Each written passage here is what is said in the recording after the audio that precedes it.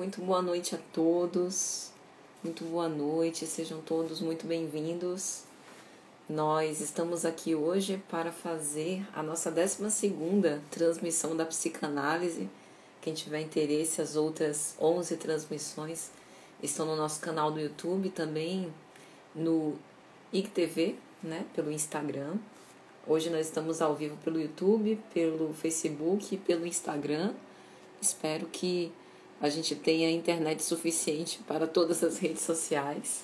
Desde já quero agradecer, gente, pela presença, pela força que tenho recebido, né, principalmente com essa novidade que é a publicação do livro de psicanálise.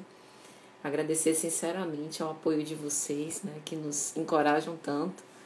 Deixa eu falar com quem já chegou. Ciomara, José, Denise, Rosana pelo Instagram. Muito boa noite, meus amigos, sejam bem-vindos. Pessoal do YouTube também já está por aqui. Do Moreira, muito boa noite, minha amiga, seja bem-vinda. E pelo Facebook também, então fiquem à vontade. Nosso objetivo, né, a nossa proposta para a live de hoje é lançar o nosso, falar sobre o nosso recém-lançado livro, O Sofrimento e a Esperança, uma visão psicanalítica. Então, nesta obra, a gente faz algumas reflexões pertinentes sobre o nosso cotidiano, relacionado à angústia de viver e quais as saídas possíveis, conforme seja apontado pela psicanálise. Então, por isso que o título dessa live é Para poder seguir caminhos apontados pela psicanálise porque, não obstante todas as opiniões em contrário, a própria clínica psicanalítica, assim nós entendemos, é uma clínica da esperança. Porque no momento em que nós nos abrimos à escuta e utilizamos né, a teoria fundamental da psicanálise e as suas regras fundamentais da atenção flutuante, né, e deixamos livremente o discurso do paciente para que ele possa falar, nós conseguimos fazer associações livres e essas associações são responsáveis pela reelaboração de muitos dos nossos problemas. Oi, José. José está dizendo que está mudo, está sem som. Se vocês puderem, gente, por gentileza, me dá esse feedback, eu agradeço demais. Porque eu não tenho condição de né, me ouvir nesse momento. Então, é, pensar sobre isso né, é pensar que a própria clínica já é esperançosa. Ela já dá condições do, do paciente se ouvir, falar. Então, a psicanálise, ela desconstrói. Tá ok, né, Sil? Obrigado. A psicanálise, ela desconstrói certos conceitos. A gente tem falado isso ao longo das outras transmissões, que muitas vezes aquilo que se tem no senso comum não é exatamente o que se aborda no sentido psicanalítico. Né? Pronto. Obrigado, gente. Muito obrigado, viu, pelo retorno. Tá tranquilo. É, então, essa reconstrução, essa desconstrução daquelas crenças limitantes, daquelas ideias falseadas que nós temos ao nosso respeito, em análise podem ser reconstruídas com uma autenticidade subjetiva. Ou seja, o ser passa a ser mais si mesmo. E por que, que isso é importante? Porque nós vemos que por trás do discurso de desesperança, por trás do vazio existencial né, que a gente vê graçar na nossa sociedade, pode haver uma inadaptação social e, ao mesmo tempo, a necessidade desse ser querer ser validado quanto às opiniões externas. Então, é como se a gente vivesse uma extrema deslealdade de si mesmo e por isso deprimimos e por isso experimentamos vazio, por isso nos sentimos deslocados, não identificados. Então, quando a gente começa a fazer análise, a gente começa a descobrir que boa parte do que a gente achava que estava equivocado em nós é, na verdade, a nossa natureza querendo se fazer apresentar com tantas opressões e restrições, castrações colocadas pela vida social. Então, pensar sobre isso é muito libertador.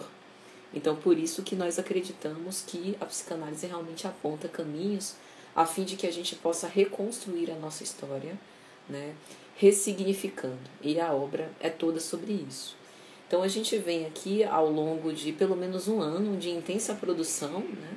e difusão de conteúdos de psicanálise, com mensagens reflexivas, podcasts, perguntas e respostas, como foi o quadro Outra Questão, vídeos curtos semanais que a gente coloca, né, que a gente chama de doses de psicanálise, e transmissões de psicanálise um pouco mais estendidas, além de análise de filmes e análise de obras. Tudo isso para mostrar a atualidade da psicanálise e o quanto que ela está inserida em diversas áreas de conhecimento, em diversos, digamos assim, polos do saber, o quanto que ela faz parte da nossa vida e do nosso cotidiano. Então, isso, pelo menos de minha parte, é também um ato de se expor, não apenas para compartilhar informação, mas para também me abrir às críticas, às opiniões, porque a psicanálise ela é transformadora de todos os lados, né? tanto para aquele que se coloca no lugar da escuta, tanto para aquele que se permite passar por um processo de análise. E é interessante o quanto um livro é capaz de sintetizar não apenas reflexões, mas suscitar questões. Eu acredito que talvez essa seja a principal o principal objetivo de ter escrito a obra, né? Lançar inquietações, né? mobilizar conteúdos que estão no nosso interior e que a gente precisa falar sobre isso. Então, na obra tem algumas polêmicas, né? temas que é, quase sempre não são tratados é, em círculos de psicanálise e principalmente abertos ao público. Eu fiz questão de tratar na obra, como falar sobre a morte de Freud, como falar sobre o episódio da cocaína, como falar sobre a angústia do analista, aquele que quer ajudar. E é interessante porque a angústia do analista não está circunscrita ao que é analista, mas a angústia do analista, invariavelmente todos nós sentimos quando nós queremos ajudar o outro que não quer ajuda. Quando a gente tem a presunção de salvar o outro da sua própria dor, quando na verdade esse movimento é uma chave que se abre de dentro para fora. Então, são temas sensíveis como prevenção ao suicídio, morte, valorização da vida, é, o bloco específico sobre a infância, que a gente fala sobre adultização, erotização infantil, né, medicalização da infância. Então, são temas desconfortáveis e a gente optou por assim fazer com o objetivo de que isso pudesse suscitar reflexões dentro desse grande rol social. Então, sempre é lógico procurando aliar isso à fidelidade né, aos conceitos freudianos e sem perder essa essência, mas colocando de uma forma fácil, de uma forma inteligível, principalmente para leigos, para não técnicos. Porque uma das coisas também que a gente observa é que às vezes os círculos psicológicos, psiquiátricos, médicos, psicanalíticos, eles se revestem de certos termos específicos que se a gente não tiver cuidado, a gente acaba circunscrevendo essas comunicações que deveriam ser abertas é, para apenas uma fala de psicanalista para psicanalista. E eu penso particularmente que essa não é a função da psicanálise. Porque psicanálise fala do cotidiano, fala do improvável, fala do corriqueiro, fala daquilo que a gente acha que é irrelevante. E todo mundo passa por isso. Então, num livro, é, pelo menos nesta obra, eu me predispus a falar de uma forma mais direta e objetiva, né? falando como gente como a gente, mas sem descuidar dos conceitos freudianos, porque não poderia se intitular uma obra de psicanálise. Né? Não tivesse esse mínimo cuidado, digamos assim, com a teoria freudiana. Gleidson coloca uma, um comentário pelo Instagram muito interessante. Realmente o analista passa percalços que por vezes ele próprio não espera. Né? É interessante o percurso do analista, como é cheio desses é, embustes, né? Dessas pedras do caminho que muitas vezes nós mesmos colocamos, que a gente vai descobrindo ao longo da análise, da supervisão, dos atendimentos, paciente a paciente, né? E a gente se pega mesmo com, principalmente analista iniciante, né? Com aquele ímpeto de salvar o outro. Então, essa é uma angústia que cada um precisa resolver, né? Denise diz que a angústia do analista é algo que sempre me intrigou, não neste termo, mas como alguém pode ter força, saúde psíquica para escutar tantos relatos tristes e angustiantes. Tem que ser muito forte. Interessante o comentário de Denise. É, não me aventuro a dizer que o analista é por si só muito forte, né? É, bem que a gente tenta. Gostaria de ter aquele espírito de super-homem, né? Mas infelizmente a gente não é um herói. Mas eu acho interessante porque a clínica nos torna mais humanos. A capacidade é, que a gente tem de se sensibilizar sem necessariamente se desesperar junto com o relato. E também de se felicitar, porque também há aquela emoção de felicidade, né? Pelas conquistas do paciente, pela evolução do paciente, pela tomada de decisão do paciente, né? Pelo desvanecer. É engraçado que a, a análise em geral tem fases, tem aquela fase do dilacerar do paciente por conta das ilusões, né? Que muitas vezes nós criamos e que a gente vai rasgando em terapia. E logo depois, a tomada de, de decisão, assumir a própria autonomia da vida e as, é, começar a construir a própria felicidade. Então, a análise tem todos esses meandros, né? É, são momentos tristes e dolorosos, sem dúvida, principalmente nesse momento, mas também são momentos felizes, né? E essa diversidade, ela é muito rica, ela nos dá uma experiência de vida muito importante, que nos torna mais empáticos, que nos faz aproveitar melhor a nossa vida, né? aproveitar as oportunidades que a gente tem, que nos faz amar mais a vida por perceber tanta diversidade subjetiva, tantas formas diferentes de pensar, né?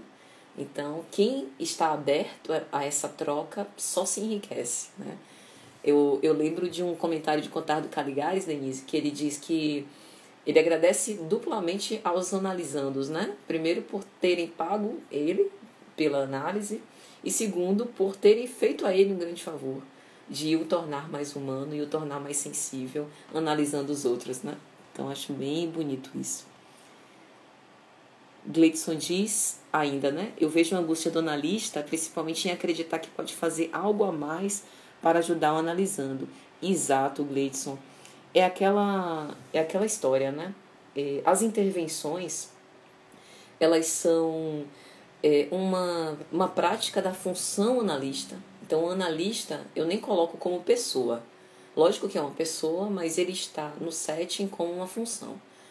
Então, ele está exercendo uma função analista e essa função pressupõe algumas ações, dentre elas as intervenções.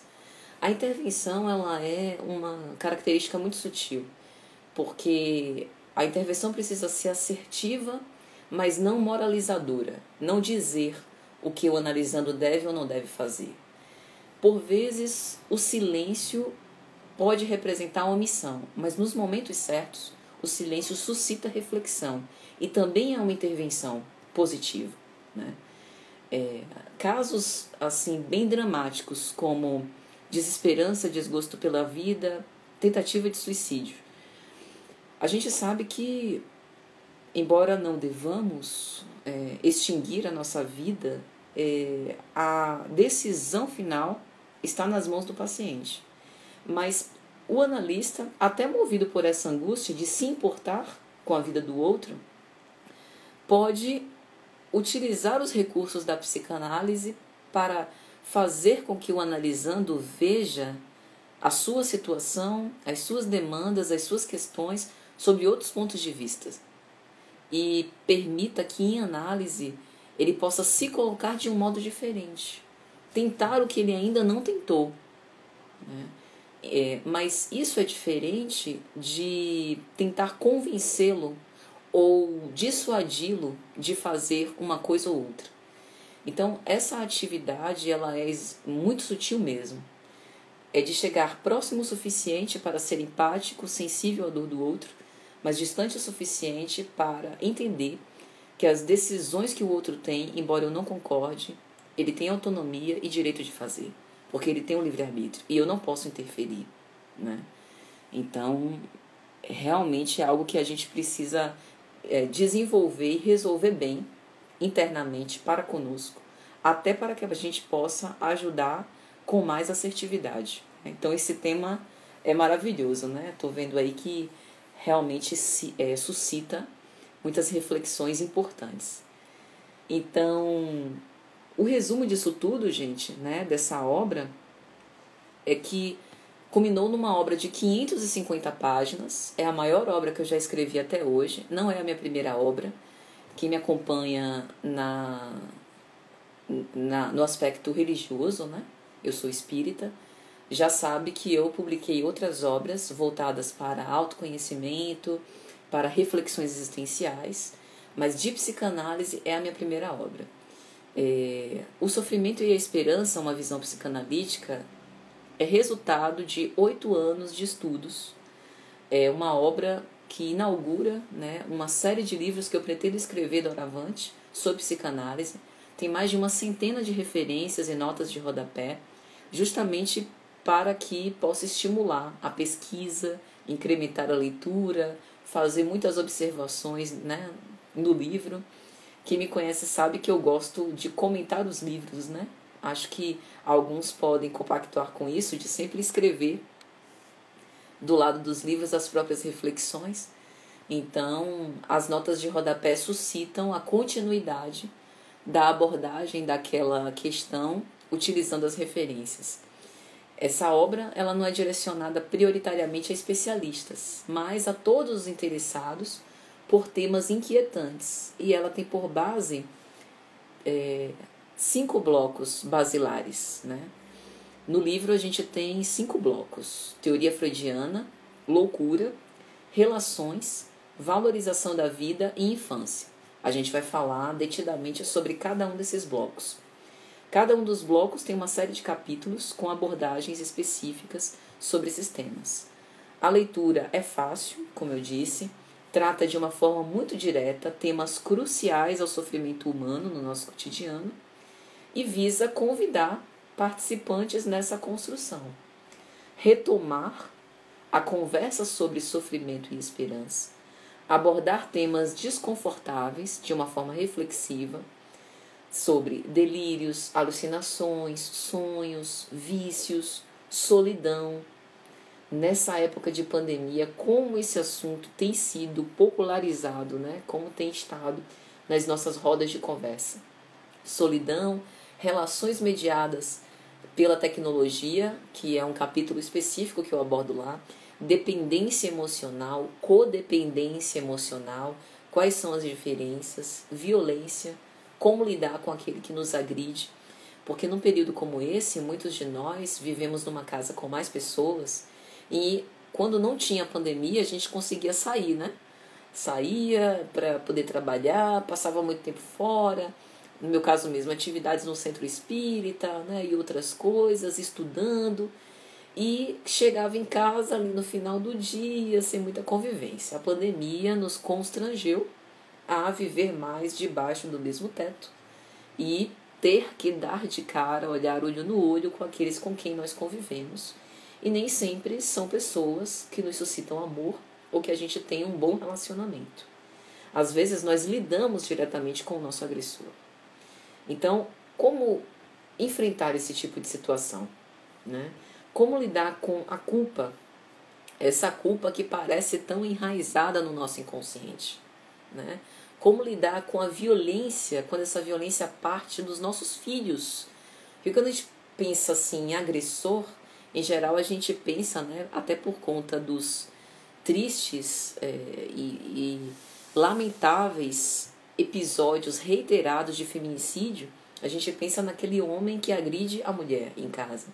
Mas há diversos tipos de agressão. Agressão contra idosos ou por idosos, né?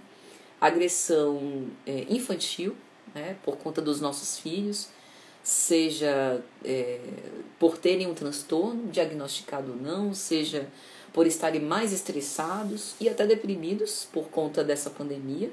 Então, como lidar com tudo isso? Um ser que nós amamos profundamente e que queremos estabelecer uma outra relação mais saudável.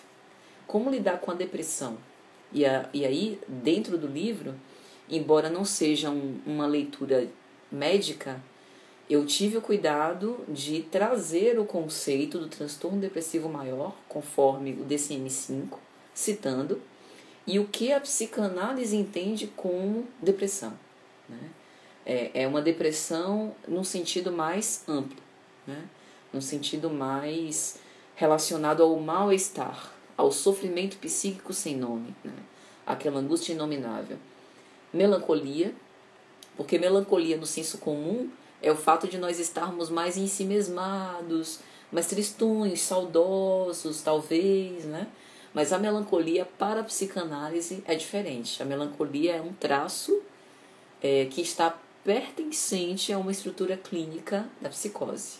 Então, há, por exemplo, uma discussão célebre nas rodas psicanalíticas sobre como distinguir uma depressão neurótica de uma melancolia psicótica. E no livro me aventuro a dissertar sobre isso. Né? É, falamos também sobre o medo da morte, prevenção ao suicídio, quais os tipos de comportamento suicida, o que não se deve fazer com alguém que tenta suicídio ou diz que vai tentar. A gente conversava aqui mais cedo, o Gleidson é, colocou várias questões falando sobre angústia do analista. Esse é um ponto especialmente difícil na clínica. Ouvir relatos de sobreviventes ao suicídio, daqueles que tentam e não conseguem consumar o suicídio. É muito doloroso. E nem todos, médicos, psicanalistas, psicólogos, especialistas, conseguimos ouvir. No livro eu até cito a experiência, que é uma experiência comum, de alguém que tenta suicídio, chega no ambulatório, principalmente agora, cheio de casos de Covid, e ter a sua dor invalidada. Mas como você tenta suicídio num tempo como esse? Tanta gente morrendo de Covid, os leitos estão cheios. Né? Por que inventar isso? Esse tipo de relato, ele não é história da carochinha. E é importante a gente falar sobre isso porque todos os sofrimentos são válidos. Todos os sofrimentos são válidos. Eu não posso desqualificar o sofrimento de alguém que tem um profundo desgosto de viver e que vê nas portas da morte a única forma né, para poder respirar aliviado, o que é um engano, mas ele se vê nessa situação encurralado, é um tipo de comportamento típico suicida, e descamba, sem acolhimento muitas vezes, sem consideração muitas vezes, num ato tresloucado, consegue sobreviver, né? chega num ambulatório, onde teoricamente ele seria acolhido pelo profissional, seria amparado, independente do que ele fez, e ouvir uma coisa dessa. Compare o seu sofrimento com o sofrimento de alguém que está entubado por Covid. São dois sofrimentos tão quanto significativos e importantes, cada um no seu lugar. Então é importante a gente acabar com essa desumanidade de comparação de sofrimentos. Hoje eu postei na, no Instagram um trecho da, da obra Tratamento Anímico, né, de Freud, em que ele é categórico. O fato do sofrimento estar na imaginação do paciente, ou seja, não ser uma dor, né? Uma dor física, porque a dor física é validada. Eu sinto uma dor de estômago, vou no gastro, ele me trata e tá ótimo, tô super bem. Sinto algum problema, né, com a menstruação, algum problema ginecológico, vou na ginecologista e sou bem aceita, sou bem recebida. Por que, que os problemas psicológicos não são validados? Ainda hoje existe estigma da saúde mental, das doenças mentais o estigma de quem tenta suicídio. Então, Freud explica o fato da dor ser imaginária não significa que ela não é real. É muito real para o paciente. E a gente precisa ter esse tipo de validação, porque senão nós estamos sendo desumanos e estamos querendo dizer estamos querendo dizer o que que o outro deve sentir. Então isso não é colaborar para a saúde em lugar nenhum tem uma colocação de Gleidson. Deixa eu só ler aqui, gente. Gleidson diz: Infelizmente é comum observar algumas pessoas minimizando o sofrimento do outro. Exatamente, Gleidson. Keila até coloca uma observação, desculpe pela expressão forte, mas trata-se do disputar desgraça. É bem isso, Keila, né? Como se a gente estivesse concorrendo para ver quem sofre mais. E não está, me desculpe, né, com todo respeito a todos os profissionais, mas não está no nosso poder dizer qual o sofrimento mais ou menos importante, mas sim acolher a todos, né? Então, essas reflexões, elas estão no livro. Eu sei que isso vai gerar polêmica. Quem lê, né?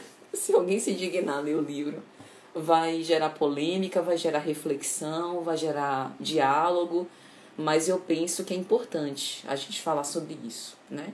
Falar sobre isso é a única forma de tentar mudar, de tentar colocar uma outra consideração, outra opinião sobre o tema.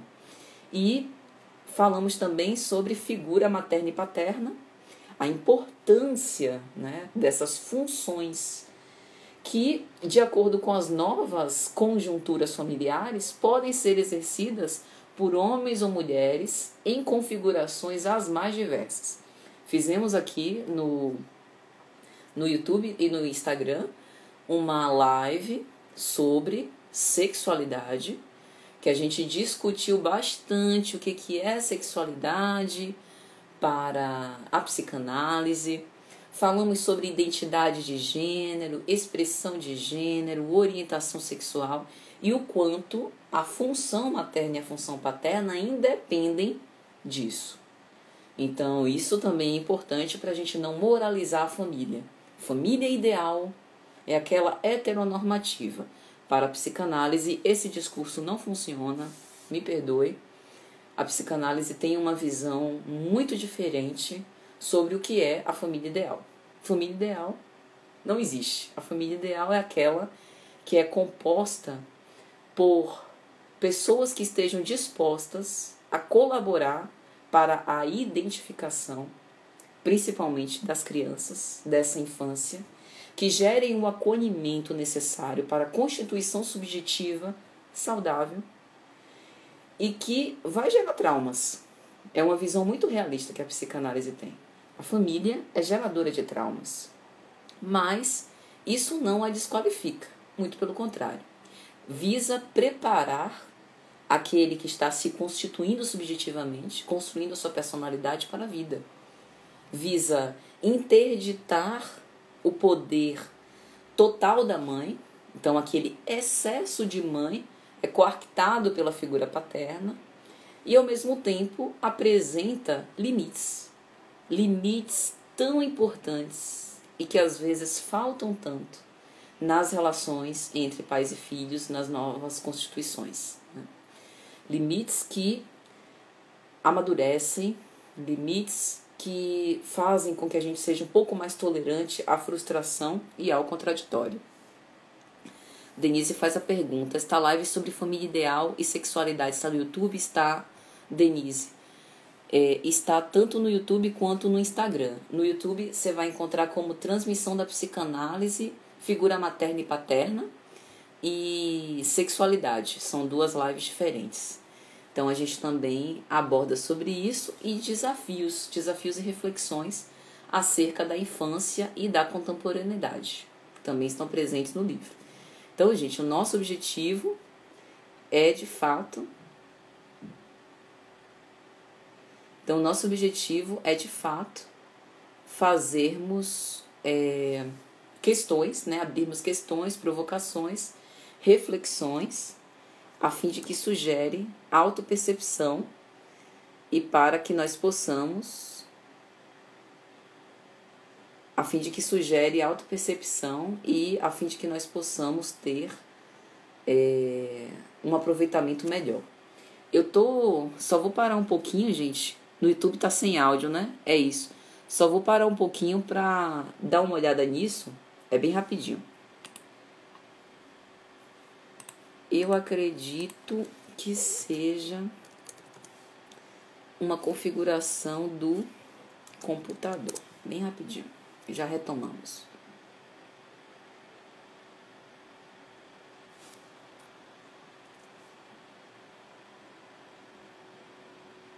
É, eu acho que eu não vou conseguir resolver nesse momento. Então lá no YouTube depois eu subo o que fizer aqui no Instagram.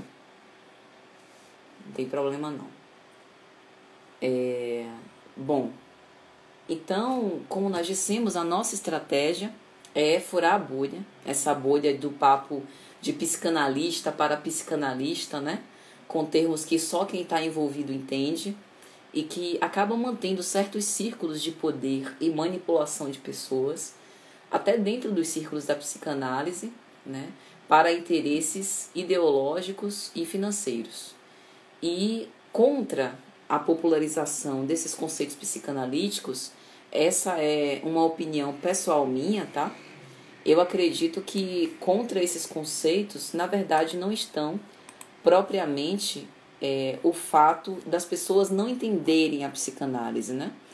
É, tem algumas pessoas que dizem, ah, a psicanálise ela requer um certo nível de erudição, né? É, uma erudição que é importante a fim de que as pessoas possam entendê-la. Na verdade, eu acredito que nós sempre podemos falar de um modo mais simplificado, né? de um modo mais tranquilo, né? comunicando de, um, de uma forma mais direta para que a pessoa, as pessoas possam entender que no fundo nós estamos falando sobre humanidades. A gente não está falando de outra coisa senão isso. A gente está falando do cotidiano, né, dos desafios. A gente está falando dos problemas que nós enfrentamos, não é verdade? Então, isso é importante. E se na própria clínica a gente utiliza, é, faz uso de metáforas, comparações, exemplos cotidianos para fazer intervenções que gerem reflexão e análise, por que, que num livro a gente também não pode simplificar o raciocínio a ponto de convidar a todos nesse desafiador exercício de viver com o bem-estar possível? Né? É... Então, vamos falar do livro propriamente dito. É... Primeiro, fala sobre o título. Né? O título do livro é O Sofrimento e a Esperança. Então, sobre o sofrimento, é importante a gente reflexionar sobre a obra de Freud, O Mal-Estar na Civilização ou O Mal-Estar na Cultura. Né? Porque nessa obra de 1930 tem um trecho que Freud vai dizer o seguinte: a vida, tal como a encontramos, é árdua demais para nós. Proporciona-nos muitos sofrimentos, decepções e tarefas impossíveis. Né? Então, com base nisso, a gente começa a entender que não é que a vida seja destinada ao sofrer, mas na vida nós precisaremos enfrentar decepções, frustrações e a própria angústia de viver. Né? Então, isso pressupõe o fato de a gente precisar, desde cedo, desenvolver formas em como que a gente vai lidar com esse sofrimento. Por isso que a gente precisa refletir em termos da esperança. A esperança, ela é uma espécie de mecanismo de sobrevivência, né, ao sofrimento, uma forma da gente continuar arrimado e seguindo. Mas o sofrimento, ele tem sido palco de discussões fora do discurso da esperança. A medicalização do sofrimento, então a ideia da gente sempre buscar formas de amenizar a nossa dor, o que, o que é lícito, mas que não necessariamente nos ajuda a investigar as causas. Esse discurso sobre a medicalização do sofrimento a gente faz na obra. A intervenção medicamentosa dentro de um tratamento, por exemplo, psiquiátrico, em conjunto com a clínica analítica, ela pode ser imprescindível para salvar a vida de alguém. Essa reflexão, ela é muito sincera e a gente precisa ter sinceridade ao analisar isso. Porque há certos casos mais dramáticos em que a gente não vai resolver apenas, ou pelo menos a princípio, com a cura pela linguagem. E a gente vai precisar utilizar de outras ferramentas, de outros mecanismos para poder resolver essa questão. Então, medicalizar o sofrimento não significa a prescrição do medicamento, mas as condições em que essa prescrição se dá, ou até a não prescrição. Porque a gente sabe que os níveis alarmantes, por exemplo, de depressão e ansiedade, eles têm a intervenção de automedicação, o que é o grande risco. Ao lado do discurso da medicalização, né, que, como nós dissemos, quando bem, quando bem orientada, quando bem prescrita, pode nos fazer adentrar em causas profundas, a gente sabe que também há o excesso disso. Então, existe, existem os casos de é, analgesar, digamos assim, né? colocar analgésicos sobre todas as dores a fim de não pensar nas questões existenciais ou nos dilemas mais profundos do ser humano. Né? Então, isso também é uma forma de invalidação do sofrimento, né? de fazer com que a gente não trate daquelas questões mais profundas, ou porque a gente naquele momento não suporta, ou porque assim pode nos ser mais conveniente. Né? É, além disso, a gente também tem que a vida ela compreende exatamente o espaço entre o nascer e o morrer. Então, se a vida é um conjunto de possibilidades, ou seja, se nós estamos na vida com o objetivo de ter as experiências que nos fazem progredir, é importante que a gente aproveite o tempo de vida para poder lidar com os sofrimentos humanos. Por isso, o nosso discurso é em prol da esperança, né? E não da morte. Então, isso implica dizer uma coisa muito importante, que nós precisamos aproveitar o momento da vida presente com o objetivo de lidar com essa angústia de viver. Então, a morte é para nós, a morte voluntária, né? a morte induzida, para nós não é uma solução. Né? E aí vem o discurso da esperança. E tem um termo que a gente utiliza no livro. Eu acho que agora consegui resolver a questão do microfone, né? Tem um termo que a gente utiliza no livro que é o niilismo terapêutico, que são os casos principalmente relacionados a doenças crônicas, né, a estados terminais em que alguns especialistas é, não recomendam mais nenhum tipo de tratamento, como se já tivesse desistido da pessoa em vida. Né? Mas é importante a gente pensar sobre, ainda que sejam terapêuticas de não comprovação científica, como a gente chama das terapias alternativas, o benefício que isso causa naquela clínica do singular, naquele sujeito em especial. Né?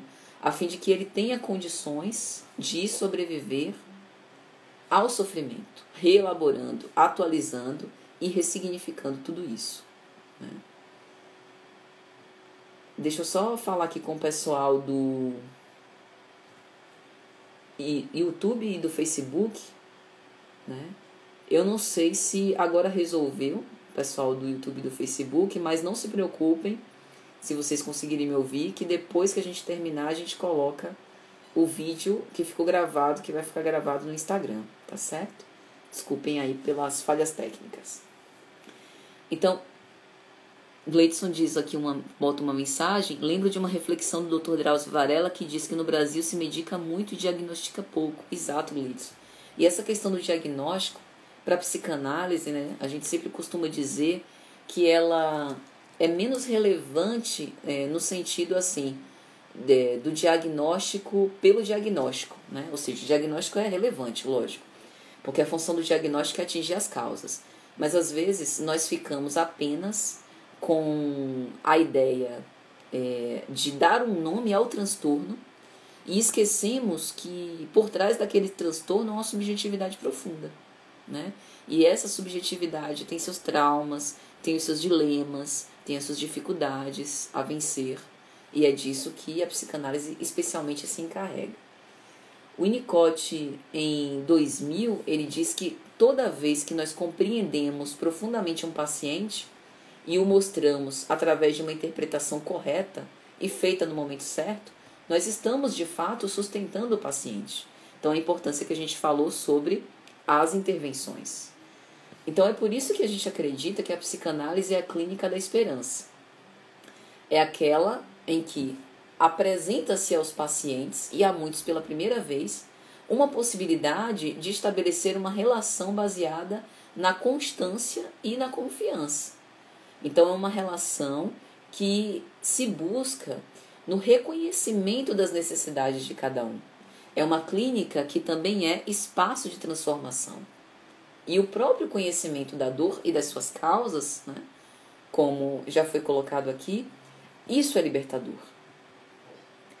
E aí a gente começa o livro. Pronto. E aí a gente começa o livro sobre o prefácio, onde os lírios nascem, né? Qual a nossa ideia de ter escrito o prefácio com esse título? Originalmente, Onde os Lírios Nascem seria o título da obra. Né? É uma característica pessoal né, na minha escrita que tem uma certa veia artística e crítica. Né? Em geral, eu gosto de, de mexer no sentido conotativo, figurado das coisas. Então, os lírios, só por curiosidade, há centenas de espécies de lírios, né? simples e belos, eles nascem em locais quentes e úmidos. A sua origem data de há mais de 3 mil anos e eles requisitam muito pouco para se desenvolver. Né? São símbolos emergentes do lodo para a luz. Então se faz aqui uma analogia com a própria experiência humana. Então, por isso nós é, falamos sobre essa história de onde os milhos nascem, né? Então, por que, que eu disse que seria a nossa o título da nossa obra? Porque o fato dos lírios nascerem belos e requisitarem de muito pouco para viver parecem esses símbolos emergentes do lodo para a luz. Então, isso parece particular, é, parece ser de particular beleza com a analogia da experiência humana, que passamos pelo sofrimento, passamos pelas dificuldades, mas mesmo assim procuramos essa iluminação do próprio conhecimento, né? Das nossas causas e raízes inconscientes. E aqui eu até cito um trecho do prefácio: a angústia, as vicissitudes, o sofrimento e as incertezas do viver recorrentemente propõem ao sujeito uma oportunidade de questionar o sentido da vida e pode levá-lo a buscar novas razões para poder seguir, não obstante o mal-estar. Recordar a pouca exigência dos lírios pode ajudar a reunir o pouco que se tem para elaborar as próprias questões, valorizando a esperança de existir e nutrindo, portanto, a esperança. Olá, Iramá, boa noite, minha amiga, seja bem-vinda. Gleidson diz: O que costumo dizer é que a psicanálise trata o paciente, não o transtorno. Exatamente, Gleidson, perfeito. Então, esse equilíbrio dinâmico de passar pelas situações da vida e mesmo assim continuar seguindo é especialmente importante, né? principalmente nesse período que a gente passa. É um caminhar intransferível, que mais se assemelha a um desbravar, né? mas que não guarda é, a pretensão é, de dar soluções prontas para os problemas humanos. Então o livro também se encarrega disso a gente não tem a pretensão de no livro ser um guia ou oráculo, mas propor caminhos para poder seguir, para que cada um escolha aquele que melhor aprouver, né?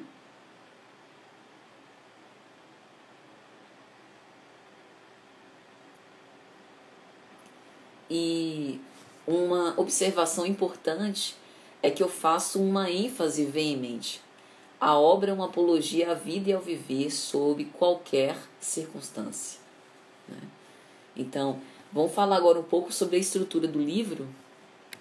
Ele começa com um estendido prólogo, em que a gente fala sobre o esquema da linguagem na primeira e segunda tópica freudiana, sobre a cura pela linguagem, falamos sobre as estruturas clínicas e a atualidade da fantasia.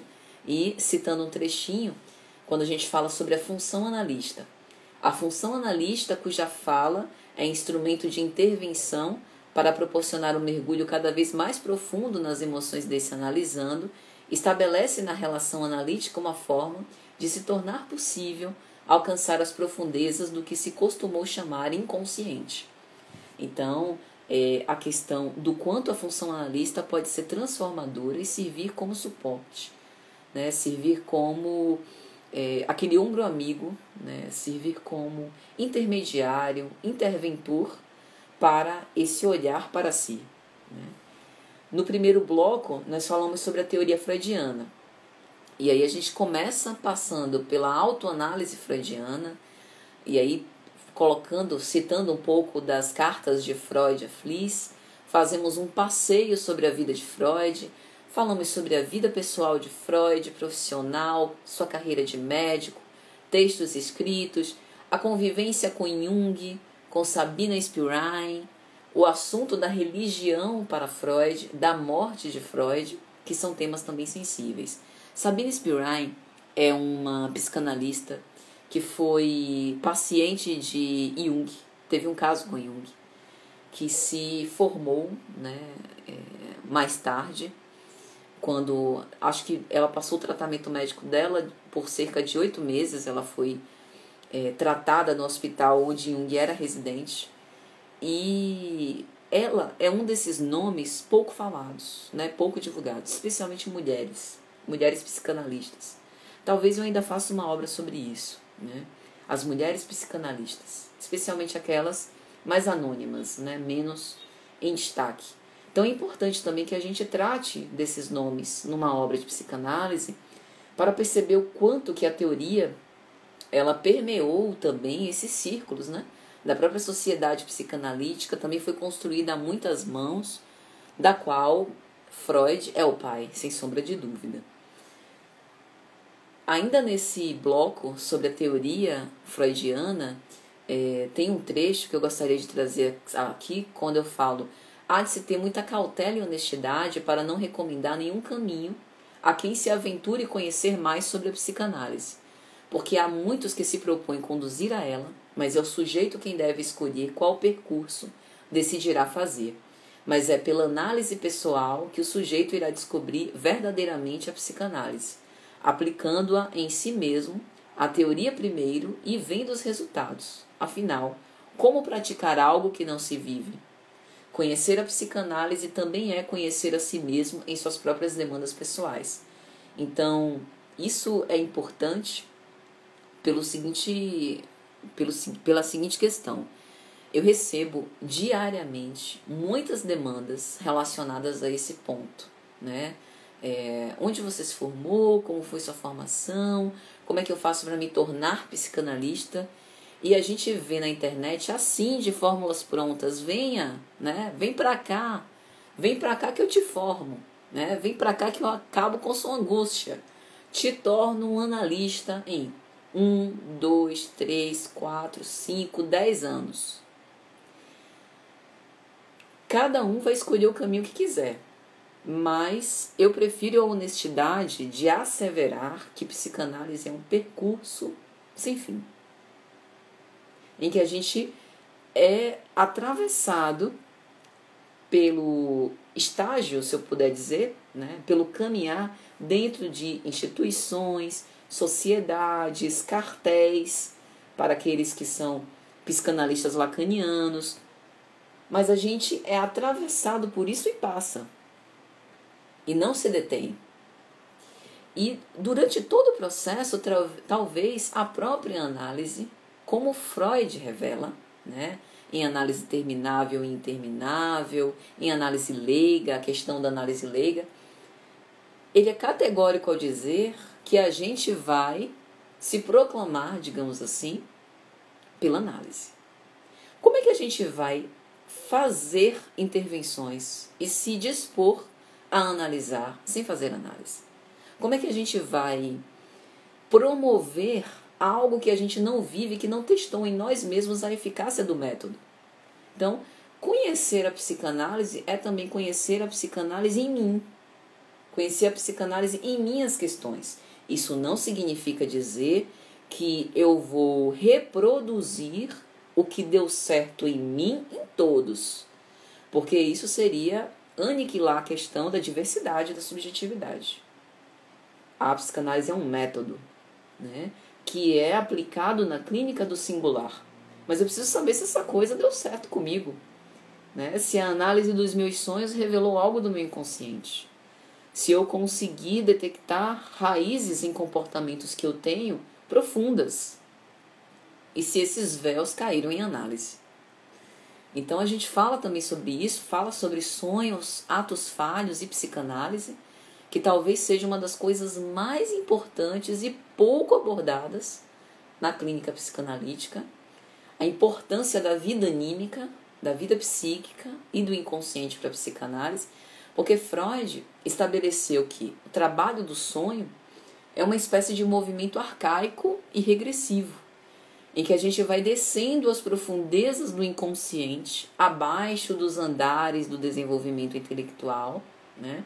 fazendo aqui uma analogia com a estrutura do psiquismo como uma casa de vários andares, e vai recorrendo a uma linguagem simbólica e a relações anteriores ao desenvolvimento da linguagem para entender por que, que a gente sonha o que sonha e como esses sonhos podem explicar traços do nosso inconsciente recôndito. Né? Tem o segundo bloco, esse primeiro bloco é o da teoria freudiana, tem o segundo bloco que fala sobre a loucura, então é muito interessante porque eu resgato um texto de Freud, A Gradiva de Jensen. Eu até gravei um conteúdo no canal especialmente sobre essa obra, que ele comenta outra obra, a obra da Gradiva de William Jensen. E eu aproveito esse texto de Freud para falar um pouco sobre delírio, alucinação, sonho, fantasia, loucura, né? Para que a gente possa entender um pouco sobre esses conceitos. E qual a importância disso, né?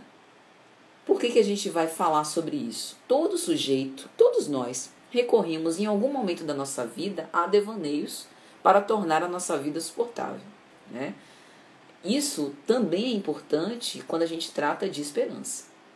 Então, quando a gente fala de devaneios, a gente está falando muito mais de pensamentos que são vitalizados pelas nossas pulsões sexuais, que movimentam o nosso desejo que não necessariamente é loucura. Mas a gente tem o um aspecto dos delírios. Esses sim podem estar associados a alucinações, alteração de senso-percepção e podem estar dentro de alguns transtornos, inclusive psiquiátricos. Né? É, o importante é que eles se alimentam da imaginação e respondem por construções imaginativas resultantes de uma projeção de fragmentos do nosso mundo psíquico. Essa é uma definição de Paulo Dalgalorondo, psiquiatra brasileiro, e que a gente também traz essas referências para o texto, para o livro, a fim de que a gente tenha né, mais substância para falar sobre isso. Então, falar sobre devaneio, delírio, loucura é também falar sobre o estigma da doença mental, do como louco, né, aquele louco é, ainda preso nos, nas instituições manicomiais, né, eram destratados invalidados. E o que, que sobrou disso para hoje? Né? O que, que ainda respinga em nossa sociedade desse preconceito? Então a gente também fala sobre vícios e como os vícios estão relacionados à solidão e pressa. Tem um autor que eu gosto demais, Byung-Chul Han, que ele faz uma análise da nossa sociedade como a sociedade do cansaço, a sociedade dos daqueles que buscam o alto rendimento a qualquer preço, a preço inclusive da própria vida. E o quanto que essa agitação, né, que nos coloca para é, ter comportamentos mesmistas repetitivos, nos torna ansiosos, comportamentos ansiosos. O próprio desenho das redes sociais estimula pensamentos ansiosos. E o quanto que a gente se sente sozinho em relação a isso. Só que o tema solidão, ele é muito amplo. Então, no livro, eu faço uma distinção.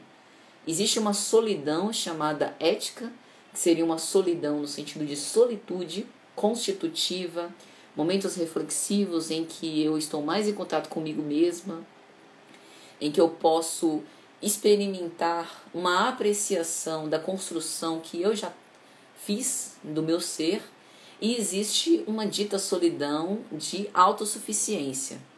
Essa solidão de autossuficiência eu coloco como aquela solidão da boca para fora.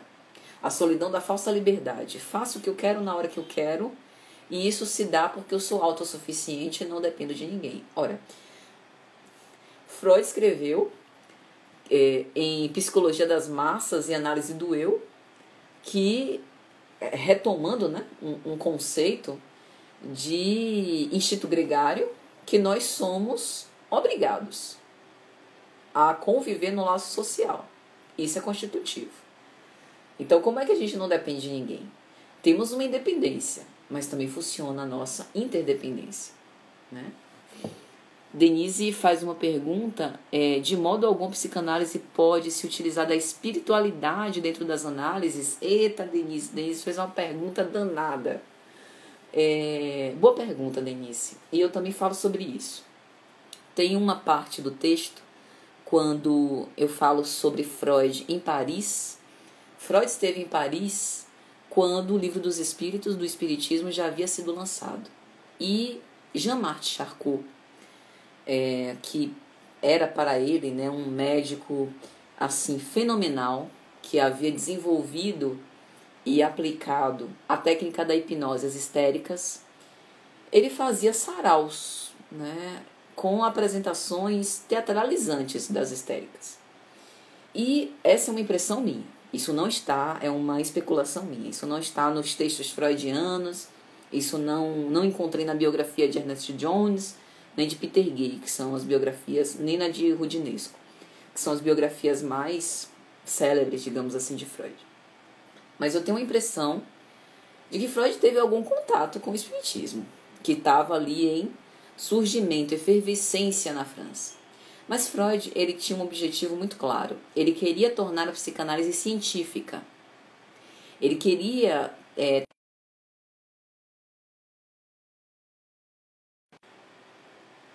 acho que voltou. Ele queria trazer a psicanálise para o meio científico, né? Fazer com que ela se tornasse célebre, fazer com que ela pudesse ser reconhecida no meio médico. Então ele não quis misturar. Nesse momento ele não quis misturar. Para ele é, não, não era interessante fazer essa mistura. Então, o que, que Freud faz? Ele deixa as questões de religião, de espiritualidade, todas para fora da psicanálise. Tanto é que Jung tinha um pé nessa área. Né? E talvez boa parte da briga deles também se dê por conta disso. Então, na clínica hoje, a gente não tem amparo da espiritualidade dentro da psicanálise. Mas a psicanálise é a clínica do sujeito. Então, se o sujeito tem uma visão espiritualista, o psicanalista precisa estar aberto até para que a sua escuta não seja negativamente seletiva a ponto de rejeitar os conteúdos do analisando. Ele precisa estar aberto para ingressar nesse mundo simbólico. Então imagine um analisando que acredita em emancipação da alma, sonhos proféticos, que acredita que em vidas sucessivas, né, o psicanalista ele precisa entender que ali ele não está como pessoa. Pessoalmente ele pode ter convicções diferentes dessa visão espiritualista. Mas dentro da análise, como função, ele necessariamente precisa estar aberto à escuta e entender o que, que essa visão simbólica do analisando representa para ele, o que é espiritualidade para ele, né? como que esse conceito está relacionado com as suas próprias demandas, mas a psicanálise se encarrega muito mais de ingressar no seu mundo subjetivo, para além da espiritualidade. O que, que eu estou querendo dizer? Todas as vezes que a gente investiga as raízes dos conflitos, a gente faz um passeio na vida dessa pessoa. Então a gente mergulha em fatos da infância, a gente mergulha em convicções religiosas ou não, a gente mergulha em formas de pensamento né? e acaba é, ingressando também nesse assunto. Então, voltando à sua pergunta, é, de modo algum, a psicanálise pode se utilizar da espiritualidade dentro das análises? Sim, pode, desde que a demanda seja do analisando e não do analista. E aí, não é que a gente utilize a espiritualidade como cura, mas a gente vai buscar entender como a espiritualidade para o mundo simbólico do paciente é estruturante e pode ser responsável também para a cura. Né? É diferente. É, é como se. É diferente da gente utilizar a espiritualidade como resposta das questões. É como se a gente utilizasse a psicanálise para decifrar né, os meandros da própria convicção na espiritualidade. A gente buscasse essas motivações mais internas, mais inconscientes. Não sei se consegui responder, entendeu, né? Pronto. Mas esse, esse trabalho, Denise, ele é muito sutil, porque na clínica é, a gente vai receber pessoas de diversas convicções religiosas, espíritas, evangélicos, né, pessoas do candomblé, do umbanda, ateus. Quanto mais o analista tiver uma escuta sem preconceitos, que a gente nunca está completamente isento. Mas a intenção é que a gente leia, estude a teoria das religiões, a história das religiões, para que a nossa escuta esteja aberta, para que a nossa escuta esteja é, pronta para amparar esses discursos.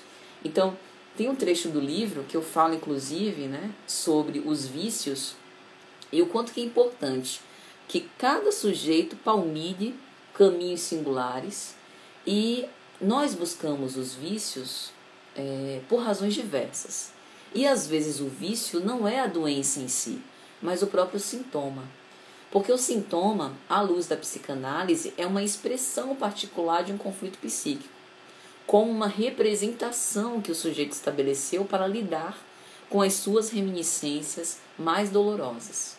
Então, quando a gente recebe na clínica né, pessoas que apresentam qualquer tipo de dependência, afetiva, emocional, química.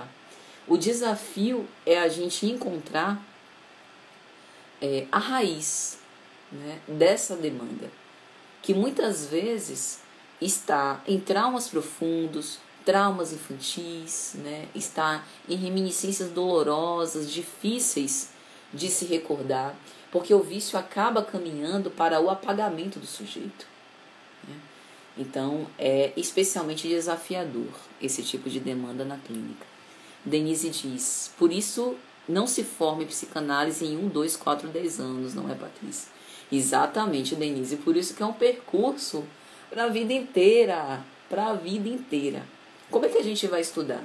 História das religiões, filosofia, é, porque ah, os textos freudianos eles são riquíssimos de menção de filólogos, filósofos, sociólogos, antropólogos, até sobre arqueologia Freud fala. Né? Como é que a gente vai saber sobre mitos, né? entender as diversas metáforas que Freud, de forma muito inteligente, concebeu sem ter essa visão ampla? O primeiro ponto, assim, um dos pontos mais fundamentais, que é o ponto dos sonhos, já é um trabalho de muito tempo, um trabalho teórico e prático, né? Porque os sonhos abrem a perspectiva para o mundo simbólico do sujeito. Né? Os sonhos eles estão cheios, como vai dizer Freud, de ferramentas de distorção e de manipulação da verdade, como deslocamento, condensação, linguagens figuradas, né? para que é, a censura da consciência possa ser vencida. Então, se a gente não consegue entender a linguagem do paciente, essa linguagem não é só a linguagem falada, mas a forma como ele estrutura o pensamento, as suas convicções, os seus valores, a gente não consegue ajudá-lo. E para isso a gente precisa estudar muito, né? Então, no terceiro bloco, nós vamos falar sobre relações. Em geral, a gente confunde né, nas relações. Relação já é um, um ponto né, por si só bastante desafiador.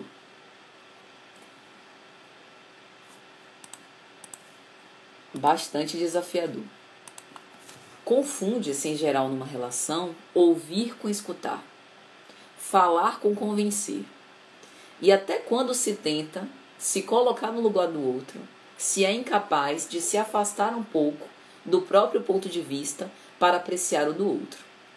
Quer se dizer o que o outro tem que falar e se antecipa em respostas ao que o outro tem a expressar. Mas, se o oposto acontece, o sujeito prontamente reivindica o seu lugar.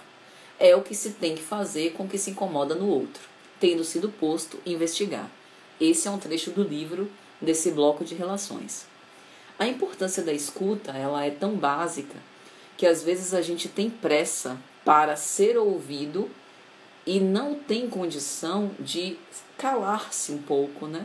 Calar os próprios pensamentos, calar as próprias defesas para poder apreciar o outro naquilo que ele é, né?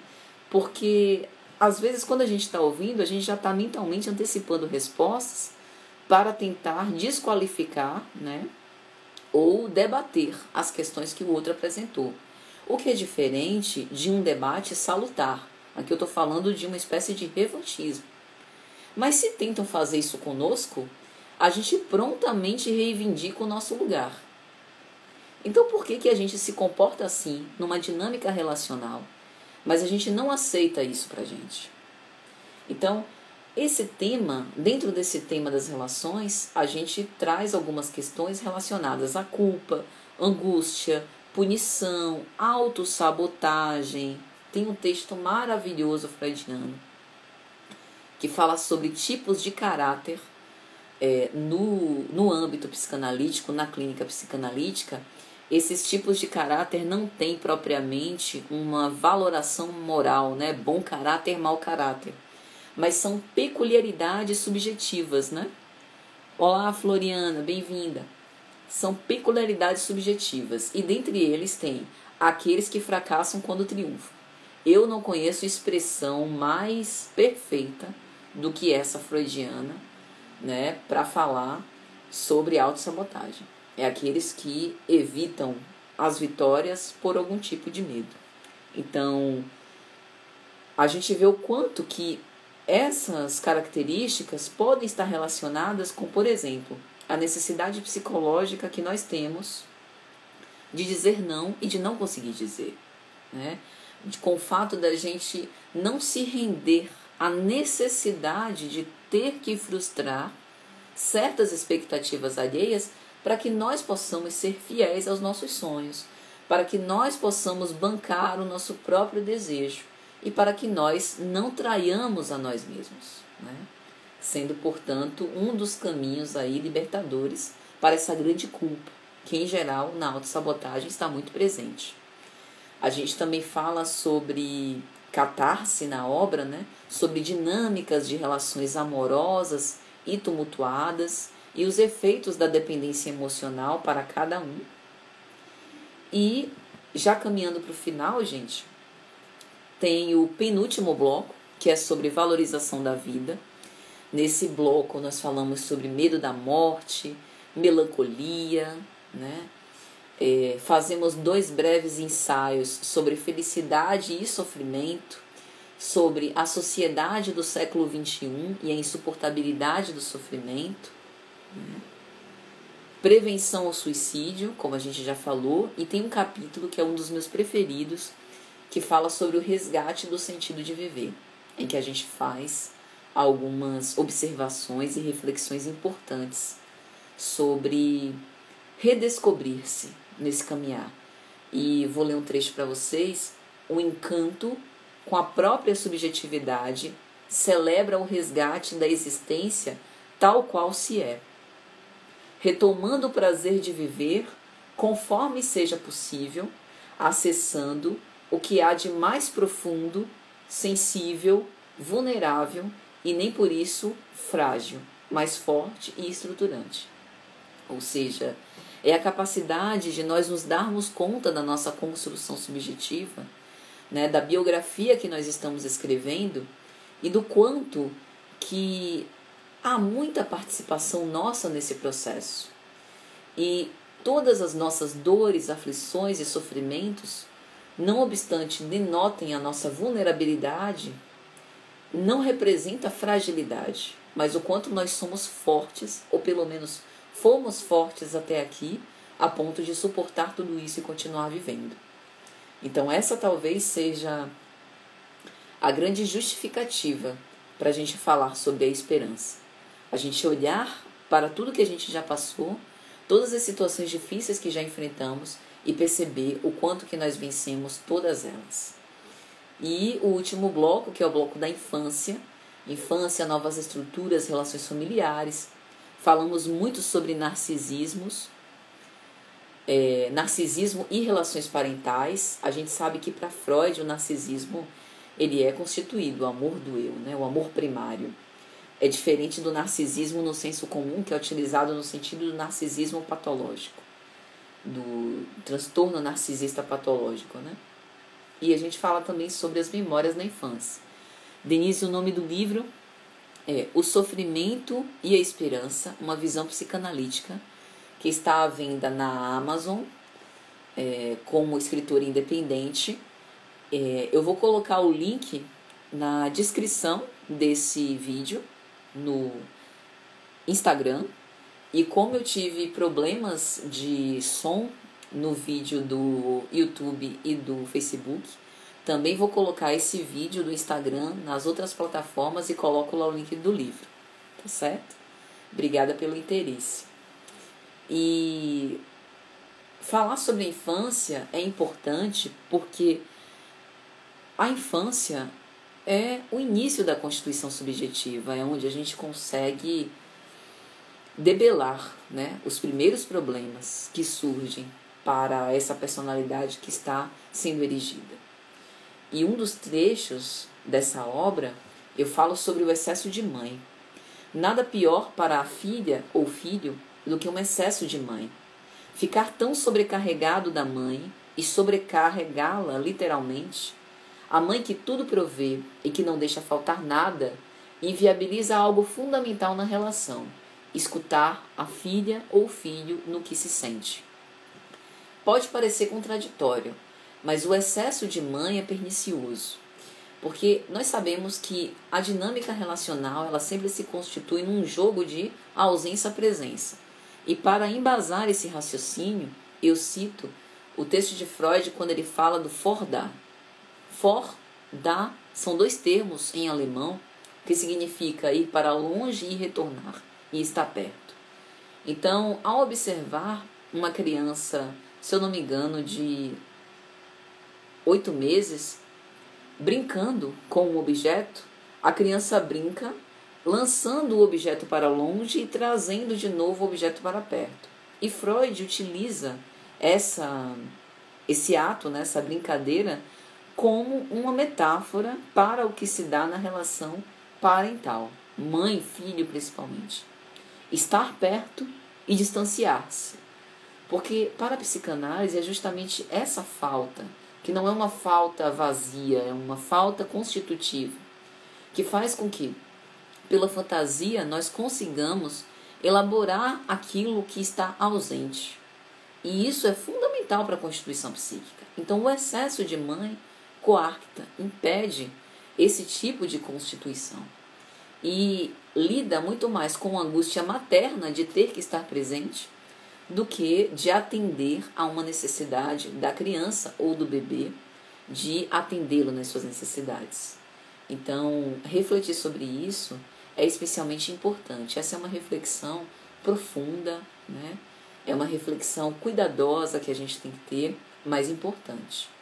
E lógico que a gente não pode deixar de falar, quando trata de infância, sobre a infância atravessada pelas mídias sociais, né?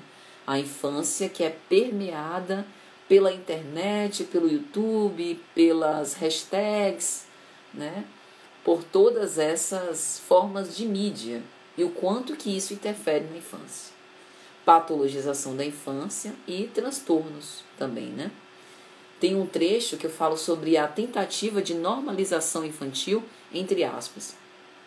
Que esse é um fenômeno dos nossos tempos, né? A normalização infantil, que implica dizer que colocar a criança num suposto padrão normal isso seria saudável e aceitável. Ou seja, toda criança que subverte o padrão normalizador contraria isso e precisa ser, entre aspas, endireitada.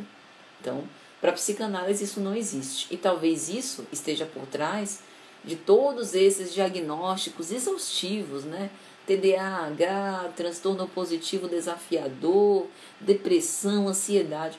A gente não está contestando os diagnósticos, mas fazendo refletir que muitas vezes por trás desses nomes, olá Yara, por trás desses nomes pode estar uma infância espontânea querendo se expressar.